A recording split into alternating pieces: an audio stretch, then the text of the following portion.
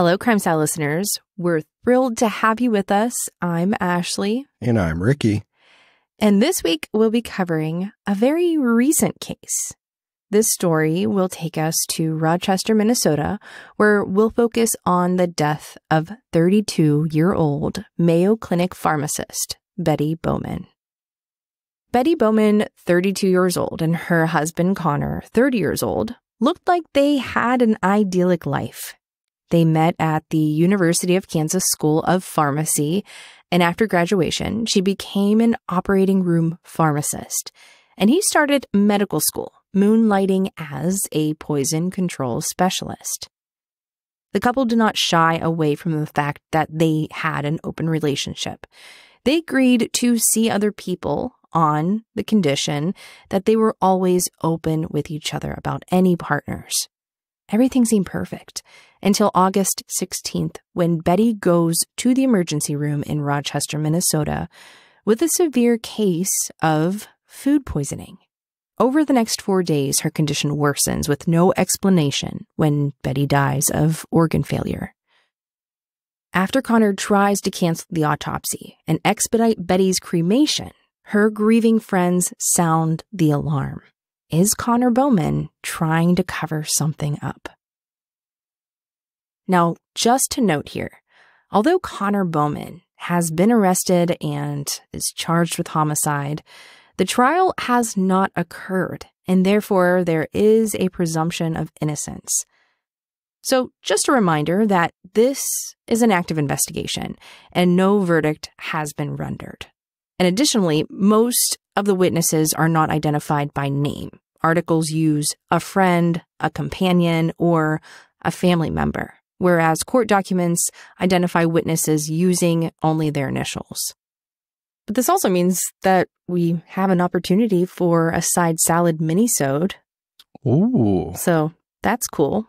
And also, there is an active GoFundMe being run by Betty's family to cover the cost of her mom, Nancy, traveling to and from Kansas and Minnesota for anything related to the death investigation or Connor's trial. And we'll put that link in our description. So, as we were saying, 32 year old Mayo Clinic pharmacist Betty Bowman was an incredibly healthy and active woman until August 16th, 2023, when overnight she became critically ill with what seemed like no warning. Betty worked as a pharmacist while her husband Connor completed his internal medicine residency. At first glance, they seemed perfectly matched, but behind closed doors, the few short years they had been married had been fraught with dishonesty and hidden debts. Yeah, lying and money never really goes well together. Betty Sponsel, which was her maiden name, was born in Wichita, Kansas on December 13th, 1990. She was adventurous and loved traveling. Her social media was filled with travel photos, hiking and spending time outdoors in Yosemite, Hawaii, Chicago, New York, the Grand Canyon, and the Caribbean. Betty's younger sister, Brianna, wrote a memorial post on Facebook about how kind and caring she was, saying she loved all living things and even made sure to leave spiders in the house and not kill them because she knew that they were there to help. And sometimes she even gave the spiders names. A friend from school commented, once in undergrad, there was a massive spider on the inside of my windshield, and I was too scared to squish it, so I called Betty because I knew she wasn't afraid of spiders. I can't remember if she squished it or if she saved it, but she certainly came to help me. Now, Betty and Connor met at the University of Kansas, where they both were enrolled in pharmacy school. He was slightly younger, born on March 21st, 1993, and classmates say they hit it off right away. Betty graduated from the University of Kansas School of Pharmacy with a pharmaceutical doctorate in 2017 and completed her residency at Stormont Vail Hospital in Topeka, Kansas in 2018. Now, after their graduation, Betty started working right away as a pharmacist. But Connor continued at the University of Kansas, getting his medical degree and working for the university as a poison control specialist. Interesting. Now, together they became proud dog parents to an adorable corgi named Sir Crumpet II of Mulberry. Aw. So cute. And Betty loved spoiling Crumpet with doggy treats, toys, and outings to local parks. And they even ran an Instagram account for Crumpet, who became a bit of a local internet celebrity, which I had a hard time finding if that page was still active.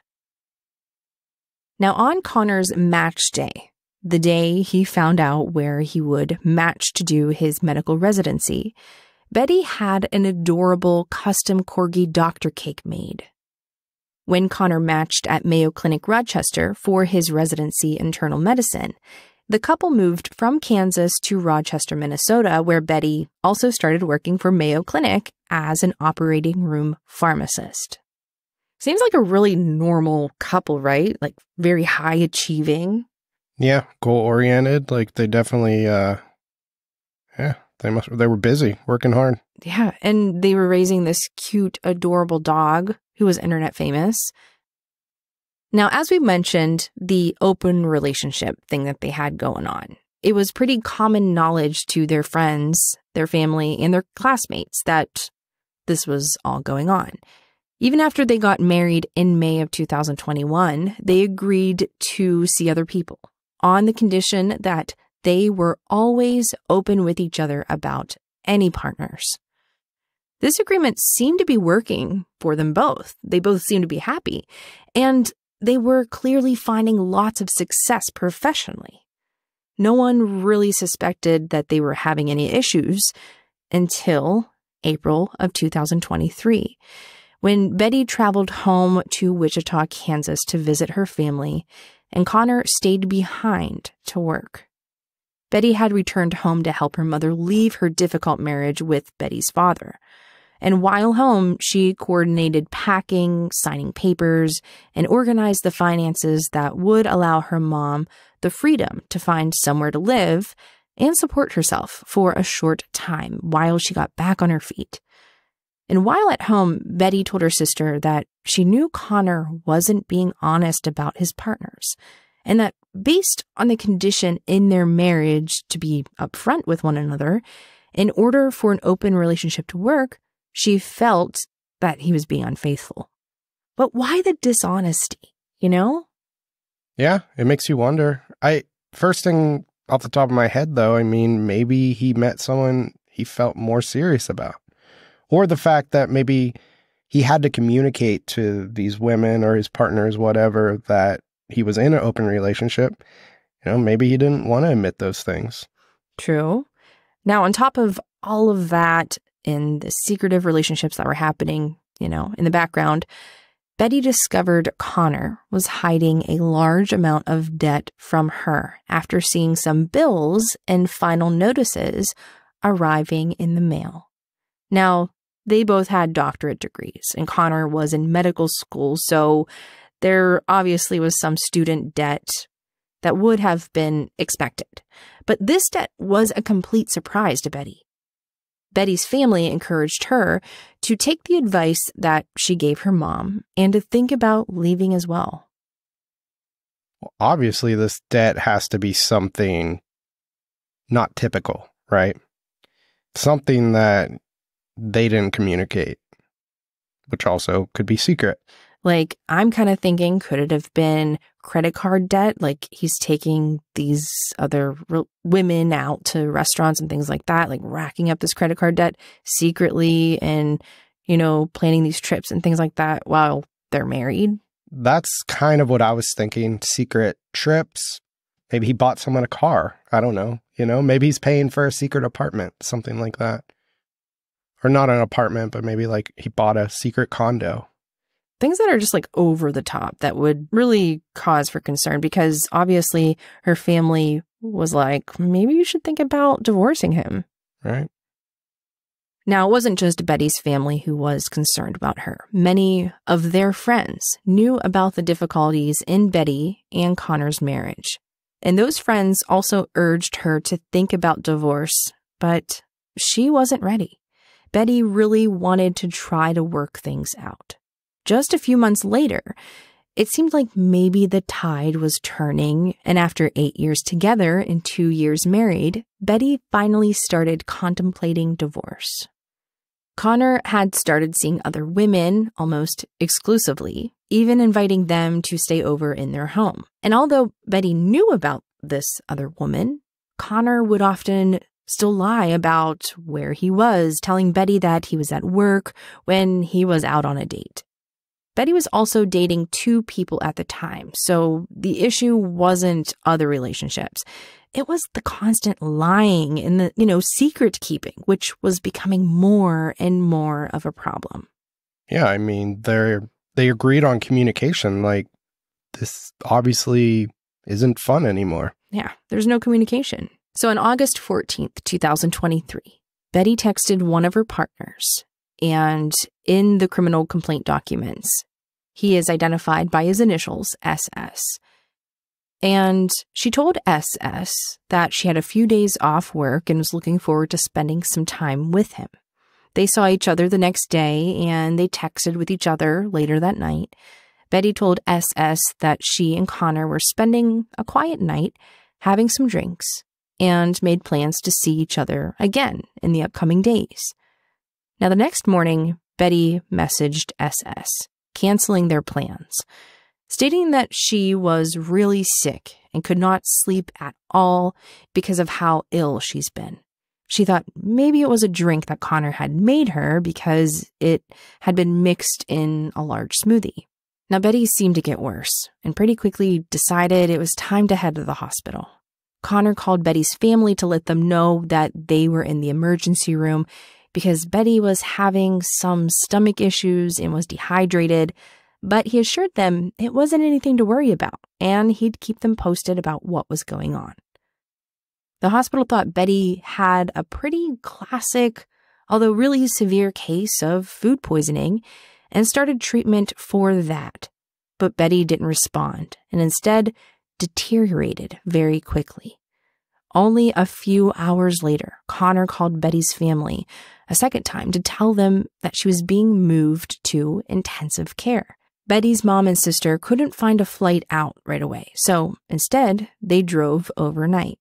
They made the nine hour trip from Wichita to Rochester with barely any stops. And when they arrived the next morning, it was clear Betty was very sick. Betty's mom, Nancy, said in a recent interview she was very weak, but she could talk. She had no energy, couldn't even get a drink by herself. Now, after hearing about how bad things were looking, Betty's dad, David, who had stayed behind in Wichita, called Connor to ask for an update. And Connor told him she's about 80% gone. 80% gone. Right.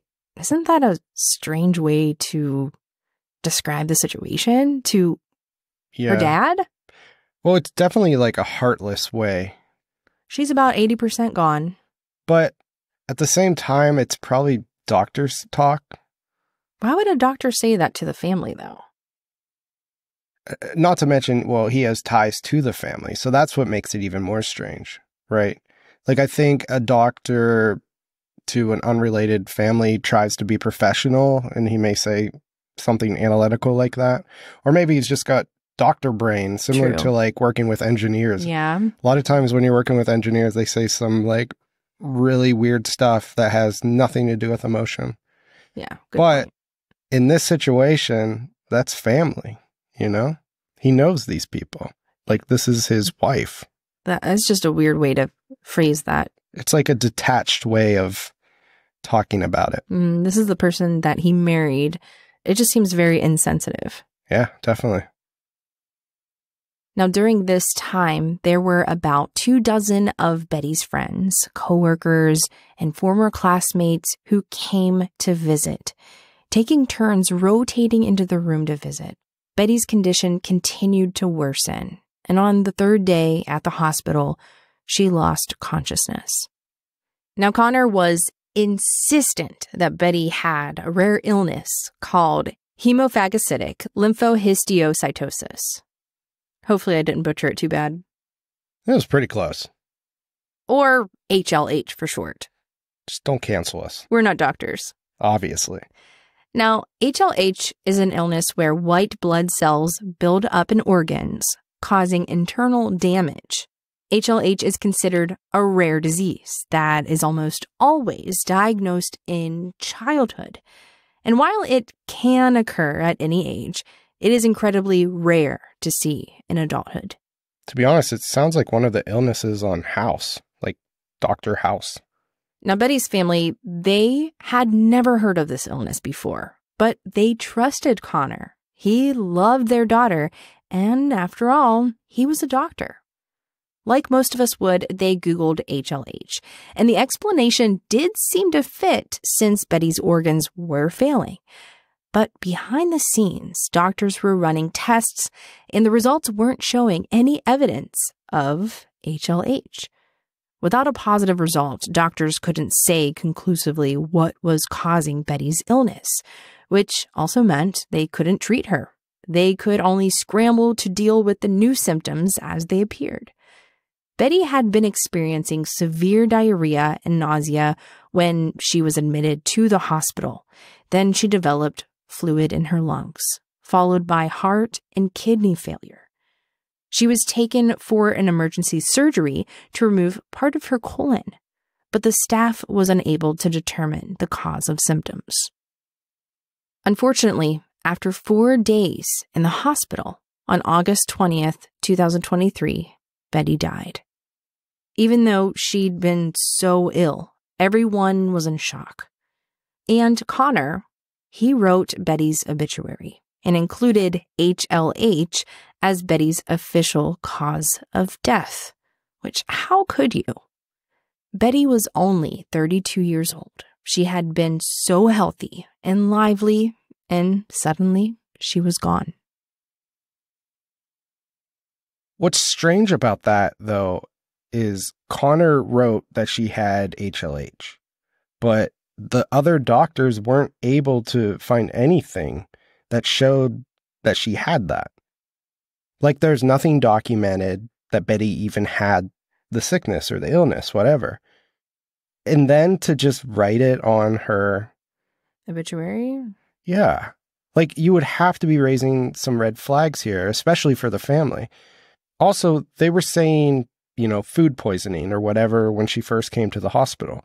But she had mentioned that, you know, the smoothie, she thought it might have been the smoothie. So, did the family know about that or the doctors? Like, was that even a consideration?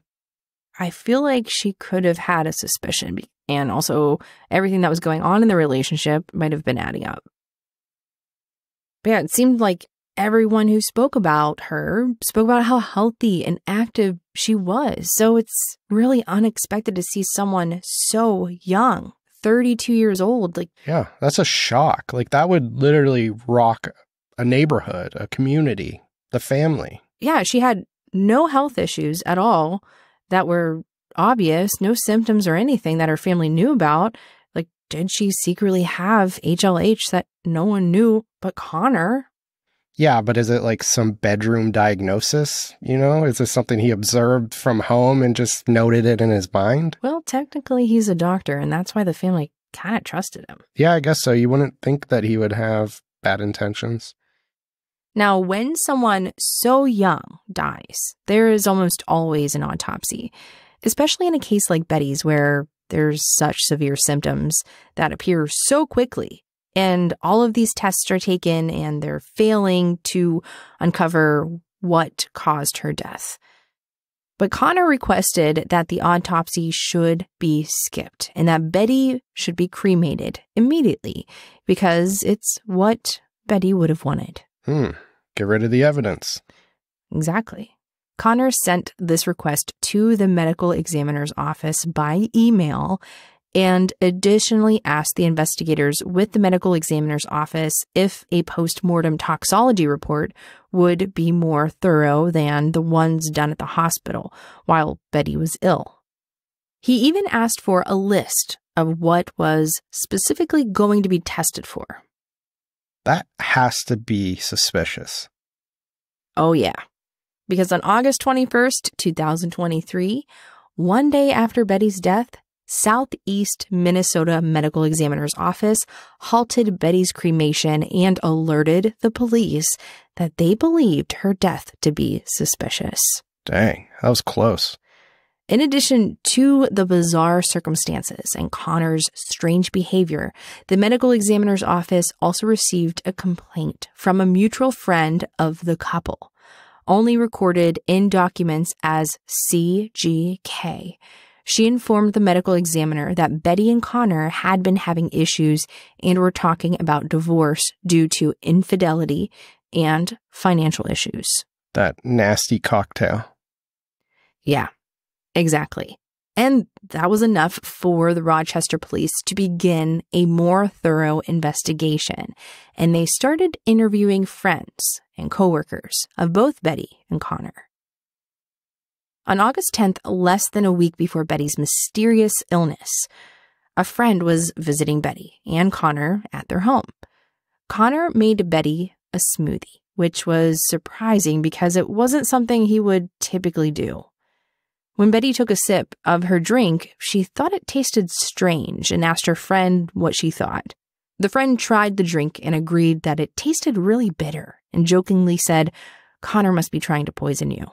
They laughed about it, and Betty agreed that it was a possibility and poured the rest of the smoothie out without drinking it. So she didn't even drink it after that. Right. Now, at the time, it seemed like a harmless, funny moment between friends, but now that Betty had died so suddenly, the whole interaction seemed a lot more suspicious. More suspicious is an understatement. Honestly, that's about as suspicious as taking out life insurance on your spouse right before they die. Well, funny you should say that. Another friend told investigators that Connor had told her he was going to get $500,000 from life insurance when Betty died. Oh my. Okay, so we have infidelity, we have the financial issues, and now we have a $500,000 payout from life insurance? Right. And we already knew that Connor, he was carrying some pretty large debt, so that $500,000 would help out tremendously and he can continue with his life, you know, doing his thing. Yeah, clean slate. Now, when detectives searched the house, they did find a receipt showing a $450,000 bank deposit, but it hasn't been verified if that was related to the insurance policy. The same friend also told police that three days after Betty had died, she went to the house to check in. Connor's girlfriend was there, and all of the photos of Betty had been removed. That's quick. Moving on quick. Detectives also learned that Connor Bowman had accessed his wife's electronic health record at the hospital using his medical credentials. On August 16th, when she was first admitted to the hospital, Betty did grant access to Connor to access her health information. From the day she arrived at the hospital until the day of her death, Connor checked Betty's electronic health record several times, which included admission information, reviewing notes, medications, allergies, and an operating room log. And while this may seem weird, it's technically not illegal since Betty had granted him permission. I that one kind of goes both ways because you know, if you were to die and I had access to your medical records, I may review them and, you know, try to make sense of it or something like that. But I think with this pun intended toxic cocktail, everybody's already kind of suspicious. So I don't know. I guess it could go both ways on that. He's a doctor, so obviously he wants to be involved. He's checking her file. Maybe he's trying to come up with some type of conclusion. But at the same time, like, is he, you know, reviewing information, insider information, and then like planning ahead? Yeah, maybe he was worried about her during that time. He wanted to try to make sense of the whole thing since he had access to it. He had an understanding of it, being that he was a doctor. But all of that permission expires if or when the patient dies. And what's interesting is after Betty died, until August 23rd, Connor checked Betty's electronic health record every single day. On August 22nd, he even created a new entry. And although he didn't add any information to the file, since he created a new documentation, it meant he was then identified in the system as part of Betty's medical team, which meant he could enter her medical file at any time without entering his credentials. Oh, okay. So that's interesting. So it's kind of like he knew that, you know, little loophole. Mm-hmm. Connor was a resident at the hospital, but he also worked as a, as we mentioned before, poison specialist for the University of Kansas. He worked mostly remotely, where he answered calls for the 24 hour poison control hotline. He was given a laptop by the university that used a VPN authentication process, so he could essentially work from anywhere. But it also meant only someone using his credentials could log in to use those devices. Connor worked the remote poison control job on August 5th, 6th, and 10th. During those shifts, someone using Connor's laptop and credentials was researching colchicine, a medication used to treat gout. According to the criminal complaint, investigators looked into all of the phone calls that had come into the 24 hour poison control line, and Connor hadn't received any calls about colchicine, and none of the other employees working that night on the team had either. So there was no reason he should have been researching colchicine. Armed with this information, the medical examiner's office was able to run more specialized blood and urine tests. And can you guess what they showed? Colchicine. At a high enough level that it was determined Betty's cause of death due to toxic effects of colchicine and the manner of her death as listed as homicide. Didn't we also cover a case? I think it happened last year. It was like a Colorado couple. One of them was a dentist, and they used the same thing. Same thing, colchicine and also toxic smoothie. Toxic smoothie. Toxic cocktail. Seems like this is getting more and more common. It was also financial issues, too. Yes, similar case, very similar case, actually. Mm-hmm. So, colchicine is a medication that's pretty commonly prescribed for gout, which is an inflammatory type of arthritis that Betty was not diagnosed with. I didn't know that. It's also a medication that has something called a narrow therapeutic window, which means the dose they give to treat gout and the dose that can be lethal can be fairly close. Hmm. According to a study on colchicine poisoning, a typical prescription of colchicine is around 1.2 to 2.4 milligrams per day. And the lowest reported lethal dose of oral colchicine are 7 to 26 milligrams. Colchicine poisoning can be pretty horrific. It starts with extreme gastrointestinal symptoms, then complete organ failure there's no antidote and no cure. So there's really nothing anyone can do other than treat symptoms and attempt to stabilize. But that's if medical professionals know there's colchicine poisoning. Right. You can't find something that you're not looking for. Exactly. Now, just so happens on August 10th, someone on the same device accessed a medical journal that is often used by medical professionals to search the lethality of substances. And on that same device, a calculator was used to convert 120 pounds, which was Betty's weight at the time of her death, into kilograms and multiplied it by 0.8, which is considered the lethal dosage for colchicine according to that same medical journal. Yeah. So some doctor, calculated individual did this. On a laptop that was Connor's. Right. So interesting. So obviously, someone with the credentials of Connors, who has a doctor brain, did this calculation, and go figure, it matches Betty. Hmm, very peculiar. Very. Now, just one day later, guess what Connor purchased? Drugs.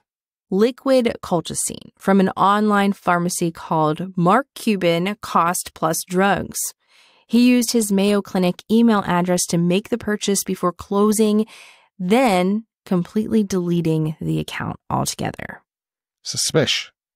Records with the online pharmacy show when Connor deleted his account, he claimed Betty had fraudulently purchased colchicine under his name. Mm-hmm. He also allegedly told the company that he wanted to delete the purchase data associated with the account because his employer, Mayo Clinic, had confronted him for ordering and purchasing a prescription of Viagra for himself. So embarrassing. Law enforcement requested Connor's emails and disciplinary records from Mayo Clinic to verify the information from the online shop but the result of that search warrant has not been made public. Yet. Now, before that, on August 5th, which was also one of Connor's scheduled shifts, someone using Connor's work device Googled the phrases Internet browsing history. Can it be used in court? Also, police track package delivery and Delete Amazon Data Police. Hmm. I wonder if it was the corgi. How long does dog food take to arrive? okay, that one might have been the dog. The rest were Connor. And on top of all of those searches, Connor's Amazon purchase history shows on August 5th, 2023, he also bought a substance called oil of wintergreen and search the toxicity of the essential oil when consumed. So, investigators suspect that the earlier smoothie incident on August 10th may have been a poisoning attempt using the different substance. Oh, so like a different method. Mm-hmm. So all of those searches were done on a work laptop using a VPN, digital footprint, everything's documented. It kind of goes to show you like you can be super book smart and go through medical school and pharmacy school, but a little bit of cybersecurity knowledge probably could have went a long way.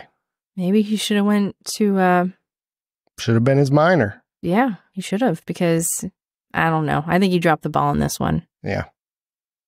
Now after a two month investigation, Connor was arrested on October 20th, 2023, and charged with second degree murder with intent, not premeditated. How is it not premeditated? that dude literally has Google searches for different chemicals that can kill someone. Yeah, it sounds pretty planned, but Minnesota requires a grand jury indictment for first degree murder. The initial charge is always second degree. On July 5th, 2024, the grand jury did upgrade Connor Bowman's charges to one count of murder in the first degree, premeditated, and with intent, and an additional count of murder in the second degree with intent. Good, I guess. He is currently being detained by Olmsted County with bail set at $2 million. Whoa! So far, no additional hearing or trial dates have been set. And because this has been a pretty high profile case, the assigned judge has been pretty strict about sealing documents and releasing transcripts and warrants. Connor's attorney had to file a request to access the grand jury's transcripts, and the judge limited access to only those attorneys working directly on the case. Even the clerks or paralegals from the firm were declined access, with Judge Kathy Wallace saying, I think the potential for the information to get out is too great the further this is expanded. The public interest in this case is obviously a big concern if it comes to a trial. I, I really, really, really hope we charge Connor But I have to ask so, what about Crumpet the Corgi? Do we know what happened to him? So Crumpet is living in Wichita with Betty's mom. Oh, And Betty's sister and her husband, Matt, they got matching tattoos in honor of Betty. They're super cute. It's a cartoon image of Crumpet the Corgi holding a syringe to pay homage to her job in pharmacy. So Crumpet is safe and sound and loved. This will definitely be a case we will check in on. yeah, maybe we'll get some updates and we'll do a side salad episode. Yeah. One thought that I had during this episode and like this case and everything is I wonder if they're going to start to make restrictions on ordering medicines for doctors and things like that. Because, like we said earlier, this isn't the first time that a doctor or a dentist was just able to order this type of drug online without any restrictions. You know, like there's no one saying, yeah, go ahead. Okay, this is for a client or a patient. You know, like there's just no restrictions, it seems like. Yeah, I mean, there has to be something. This keeps happening. What was the one we just read about? It was like a some type of flower. Recently, there was a teacher who was accused of trying to poison her husband with Lily of the Valley in, go figure, a smoothie. smoothie. Wasn't it like some type of plant, like lily of the valley? Is that a some type of Yeah, it's a poisonous plant. just something you can order off the internet. it's a plant. They they sell them anywhere at any store. That's nuts. So, what I learned from this episode is I'm never taking a smoothie from you. If you ever bring me a smoothie, I am not drinking it. Honestly, you can still make me a smoothie. Okay. Protein packer with peanut butter, please. Ooh, that one is good. But if it tastes bitter, I swear to you, Yeah, I will. dump it out. Give it to me. Okay, fine. We always have to make a promise that we taste each other's smoothies before we give it to each other. Mm. It's kind of like in those movies when they uh they do the old switcheroo on the drinks. Yeah. And that completes this week's episode. Just remember get a divorce. Don't poison your spouse for life insurance money. How else are you gonna get the money? It's not going to work out for you. I promise. No, it really never does. And before we drop off here, please send us a nice review on Apple Podcasts. And if you'd like to be a Patreon subscriber or an Apple subscriber, you are welcome to join in on the ad free listens. So check it out.